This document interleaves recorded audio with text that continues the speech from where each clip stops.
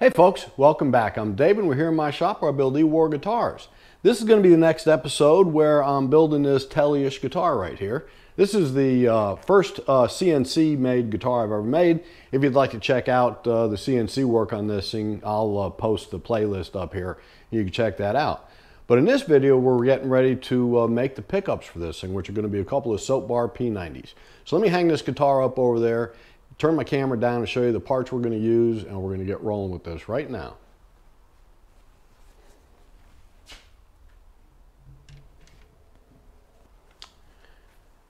Okay, so I buy my uh, pickup kits from StewMac and it's just a standard uh, uh, Soap Bar P90 uh, pickup uh, winding kit. And so it comes with a little soap bar cover. I guess I call it a soap bar because it kind of looks like a soap bar. And here's the plastic bobbin I use. Um, here's my six pole pieces, which will screw through the bobbin. Here's my two mounting screws and the two mounting springs that go with it. This is my uh, two, I'm using Alnico 5 magnets, and there's a little hookup wires in there too. Uh, there's a pair of Alnico 5s. Here's my little bar spacer that goes in between the, uh, uh, the bobbin and the base plate. Here's my base plate, and here's my two attachment screws that'll screw the base plate up and into the bottom side of the bobbin. So, uh, and I'm using on this, I'm using a 42 gauge poly coated wire, which I also bought from StewMac. And, uh, and I'm going to wind both pickups. Uh, I'm going to wind them reverse wind, reverse polarity. So I'm going to wind one of them in one direction and the other one in the other direction. And I'm going to switch the polarity on the magnets as well. Uh, so there's hum canceling in that, in that middle position because in the first position and the third position, it's gonna, it's gonna make some noise out of it because of the 60 cycle hum deal and all that stuff. So anyway, uh, now I've already wound the first, uh, I've already wound the first bobbin right here. This is gonna be my bridge bobbin. I've got 10,047 winds on the thing. And, uh, and so the uh, neck bobbin, I'm gonna wind it a little, little less hot and I'm gonna wind this with about 9,000, maybe 9,100 winds on the neck bobbin which is going to give it a little more clarity and uh, and not quite as hot as a bridge, not not quite as twangy as a bridge pickup is going to be. And here's a few of the tools I'm going to use for this. I've got my soldering station here, my little soldering gun. I've got this little skinny soldering wire, which is perfect for uh, for guitar electronics. It's uh, let me see here. It is 6040 rosin core solder. It's 0.32, 0.032 inch solder. So it's little skinny stuff. Works perfect for this. I've got myself a multimeter right here, which is going to allow me to check the coils once I've wound them to make sure I don't have a break in anything and make sure I've got my solder joints connected properly. And over here, let me move that camera over and I'll show you my little pickup winder that I made myself. So this is my homemade pickup winder. Um, as you can see, I did a glass cover on it because I think it's kind of cool and I could see, not glass, it's plexiglass. I've got myself a counter in here. Uh, there's a reset button for the counter. Here's my speed deal that I could set the speed of the uh, rotating uh, bobbin up here. I've got a little motor and uh, there's a counter. I don't know if you'll be able to see it in there. I have a magnetic counter that's going to count each rotation of the pulley inside, which is going to uh, keep track of the counts of winds. And I've also got a switch on the back back here that can uh, reverse, either go counterclockwise or clockwise, depending on which way I want to uh, uh, wind the bobbins. So over here I've got this spinning block of aluminum, which is what I'm going to attach my uh, attach my bobbin to, and I just got a little double-sided sticky tape on it. I attach the bobbin right here, and here is where I run my wire, my pickup wire up through here, and these are the limiters I have set for just a little bit narrower than the width of the bobbin. So uh, anyway, so that's how I go about doing it. This was a pretty simple thing to make. I've it's probably got $100 worth of parts in it and a little bit of labor. And uh, when I went to look into buying a pickup winder, the ones I were looking at were over $500 each. So I thought, shoot, with a little, a couple of parts here and a little bit of labor, I could save me a few hundred dollars, and I did. And the things worked out great. It's probably not as perfect as one you could buy, but it works out. It's been working out really good. So anyway, I'm going to get set the camera set up over on the other side, and we're going to get winding this. Uh, this neck pickup bobbin and I'll explain it as we're going. Okay, so uh, let me get started by saying first, and I, I, didn't mention it before, but I am not an expert by any stretch of the imagination as far as building pickups. I've probably made a couple of dozen sets of pickups so far. I've made humbuckers, P90s and I've made single coil pickups. And uh, I'm, I'm, no, I'm no expert whatsoever, but I think it's kind of cool. You know, it's sort of tedious work for a guy with fumbly hands like me. Um, but I, I enjoy it at the same time, and it's really re- rewarding at the end when you hear your pickups, uh, the sound your pickups make in a finished guitar. It's just kind of a very rewarding thing. I don't think I'm saving any money by doing it with the time I've got into uh, making pickups, but uh, I, am, I get a little better every time. I get a little faster every time, and I understand a little more about what I'm doing each time. So to me, it's kind of worth it. So anyway, just know I'm no expert. I'm just showing you how I do it. I read the instructions every time before I start a set of pickups, and uh, and I watch a couple YouTube videos on it. And uh, and anyway, so that's it. So I enjoy what I do, and uh, I just want to let you all know that. So the first thing you got to do is if you look inside these plastic bottoms, you see some casting seams here when they cast the stuff. That could uh, potentially hook one of your wires when you're winding it and break the thing, which would cause you to have to start all over again, or try to figure out how to uh, how to uh, fix the the break in the middle of a, a, a, wind. So what I do is I got a little 400 grit sandpaper uh, stuck to a tongue depressor here, and I like to go around first of all and smoothing off anything in there that I think might could potentially uh, catch a wire. Okay, all right, not too bad. So now If you look at this thing, this is viewing from the top and this is the bottom. If you look at the bottom, there's two extra holes. That hole there goes all the way up into where your, your coils are gonna be. Well, both of them do.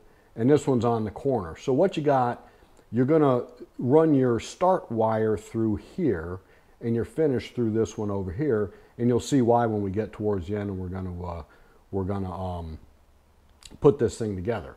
So but in the meantime, so now this coil I already made, okay, you could see the start was black and the finish was white. I'm gonna wind this one the same direction, only I'm gonna reverse it. I'm gonna do the start as white and the finish is black, which is gonna in essence give me a reverse wind. And then I'm gonna swap the pickups, uh, the, the uh, magnets around and point, you know, do a different polarity on the magnets, which is gonna give me reverse polarity. So I'm to wind them the same direction, switch those two wires, and that should give me the reverse wind, reverse polarity. Um, anyway, so here's my, uh, here's my hookup wires. So I'm going to take them, and they're 28 gauge. So I'm going to strip off about 3 sixteenths of an inch on each end.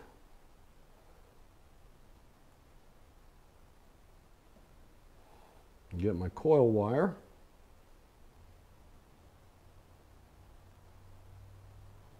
I'm going to go ahead and wrap this around the end here.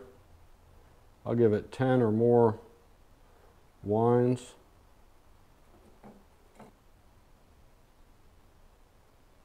Okay. Now let me see.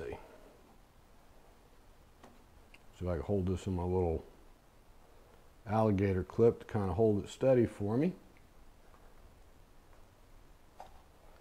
Now I'm just going to only takes say with a skinny little wire. Now this is poly-coated wire, so it's got a coating on it, but as soon as I hit this, as soon as I hit that with the heat, it's going to melt that uh, coating off of there and allow me to have good contact.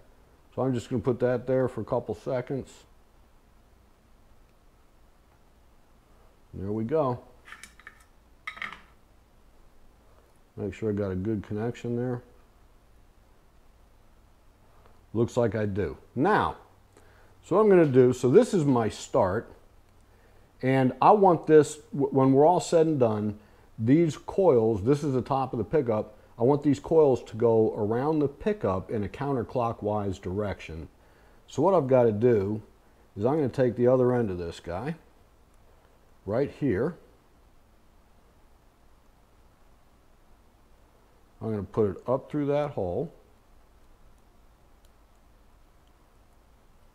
like so. I'm going to pull about an inch through.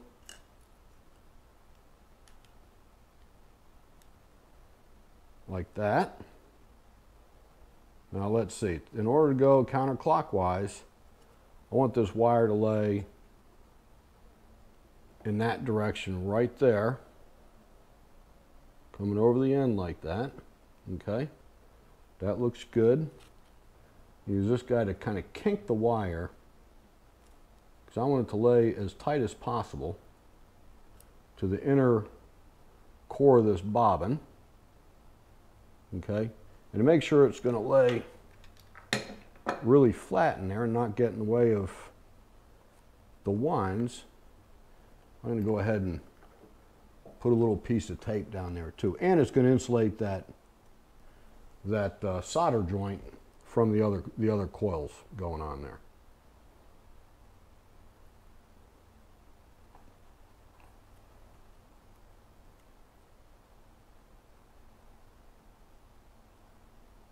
Okay, so I've got a little double-sided sticky tape going right up the middle of this thing.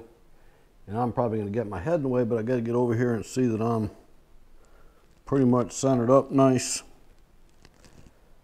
both ways because we want to spin it nice and true. Okay, so I've got my coil of wire sitting on the ground right below me. That is the best way to pull the wire off of there. And I'm going to hold it right here very lightly. And I'm going to go first, I'm going to turn it a few times by hand.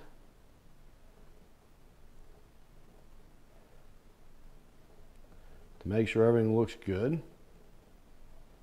I want to make sure my two limit stops are set at the right place. We don't want it to go all the way to the end of the we don't, we don't want the wire to spin right up against the edge of the flat work. We want it off just a little bit. Otherwise it's going to build up on the edges. And I think that looks pretty good. Now I'm going to start just very, oh I got to, first I got to reset my winder. Okay, so we're back to zero. And I got to remember I've probably got six or eight wines on there now. But I'm going to start off just very slowly. I'm, just, I'm holding this between my fingers just very lightly. My fingers are just going to guide it back and forth. Just like that. I'm going to try to keep a fairly steady motion.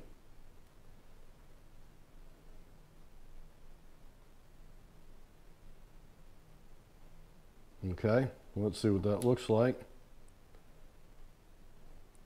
Okay, it looks like it's going on there really nice.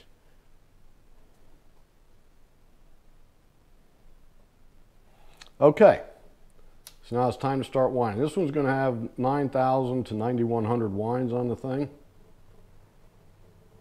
I don't go too fast. I suppose this is spinning 500 RPMs, maybe a little bit less. I don't like, it'll go faster than that, but I'd rather not being a kind of a beginner at this. So anyway, I'm just going to try to keep a nice steady motion going back and forth, trying to keep some separation in between the layers. And I don't want to spend any too much time in any one spot. To keep it going nice and even. And I'll get a couple hundred winds on there. So I've got 400 winds on there now. Let's stop and take a look.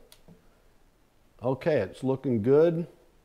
I'm filling the whole thing nice, so I think we can keep going.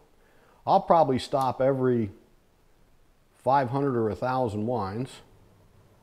Probably every 1,000. Just to check, make sure I'm not getting it too high. I want it as evenly across everything as possible. I've got a little mark on my dial over here that where I could stop where I know that's a comfortable speed for me. This is considered scatter wound because I'm doing it by hand. The uh, professional outfits use, uh, use machines that lay the wire on there absolutely perfectly. But they say you get a little better tone if you do it by hand like this. I'm not squeezing very tight with my fingers. I could just feel the wire slipping between my fingers. Just enough tension so it lays on there nice and tight. All right, there's about 2,000. Let's stop and have a look. Okay. I think it's looking pretty good. Okay. 9,100 turns. 9,112. I am quite pleased. That looks really nice. Let me get that camera over here. I think that's looking really good. Laying in there, looks nice and tight. I'm very happy with that. I think it looks good. Right there. Go ahead and cut this here. And just simply pull it off my winder. There we go. There it is. I think it looks good. So this white guy in here coming out of the middle is the start. And this guy over here is going to be my finish. Now we got to go solder the lead wire onto this finish right here. Okay, so basically just an effort to kind of keep this wire from moving around. I usually do this before I take it off of the winder. I'm going to go ahead and stick a piece of tape on this thing. Just something like that. And this tape happens to fit in there really well. So I can just run that in there to press the tape on. Okay. Okay. So here's my finish wire, which in this case is going to be a black one. So I'm going to strip these ends here. About 3 sixteenths or so. Seems to be the right amount. Like so, I'm going to give them a little twist here. Like so. Now, so this wire has got to lay up under here and then it's going to come through this hole and I want it to poke through the hole about an inch or three quarters of an inch or something like that. So I want to try to tie this on. I guess I'm going to want it to be almost up at the end here. So I think I want to tie it on somewhere right around here. Let me get that straight. Hold these two guys together here.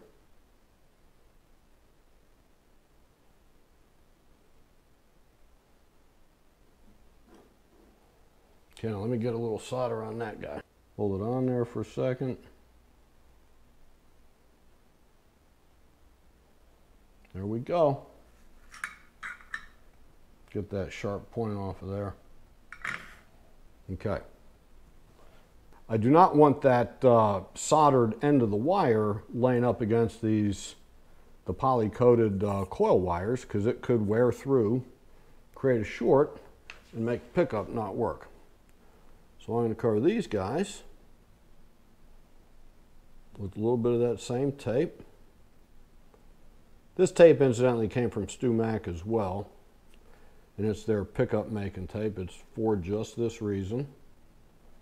It's the right width. Okay, like so. Okay. Want that about like that.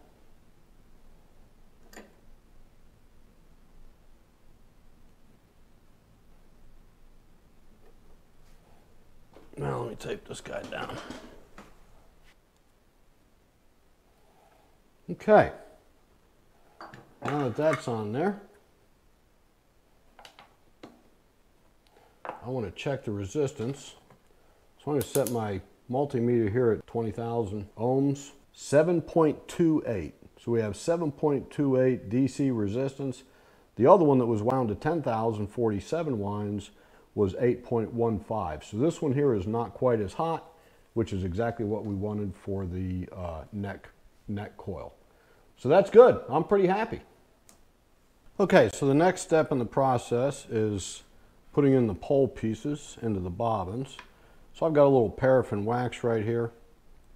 I'm using that to help me get the screws started. These aren't terribly tight or anything, but the paraffin wax will definitely help.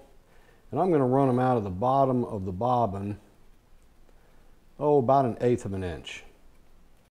Okay, so what I'm going to do now is I'm going to cut back some of the braiding on this uh, hookup wire because this is our ground. This outside stainless steel braiding is the ground for these pickups.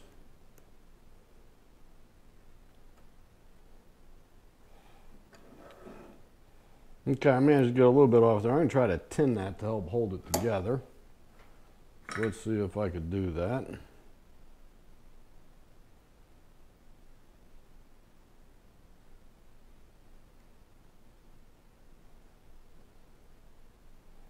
run this wire down through the base plate.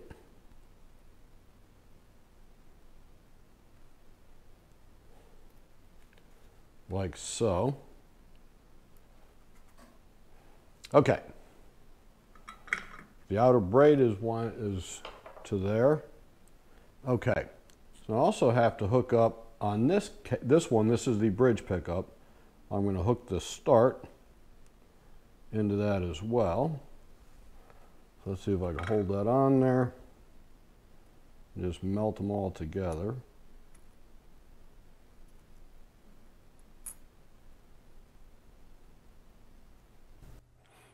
Okay, so my battery died on that last clip and I didn't know it. Uh, so I finished that tedious uh, uh, soldering in the wires, which is sort of difficult for me, but I managed to get it done. And uh, now it's time to move on to installing the magnets. And as you can see, I have a little compass there, which is telling me which is the north and which is the south side of the magnet. So what I'm going to do on one of the pickups, I'm going to select the north facing edge of each magnet and face them towards the pole pieces in the middle. And on the other one, I'm going to select the south uh, facing edge of the magnet and face those towards the, uh, the pole pieces, which is going to give me reverse polarity. Now it's just a matter of putting on the base plate, which I've got those two little screws, which I've already put a little bit of paraffin wax on them. And uh, now I'm just going to go ahead and screw them in snug them up nice and tight, and that keeps the whole thing together really well.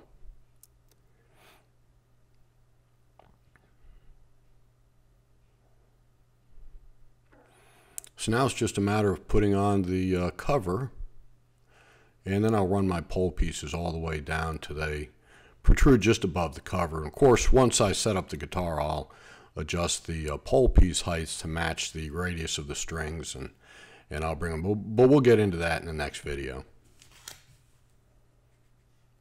Now, of course, I want to test it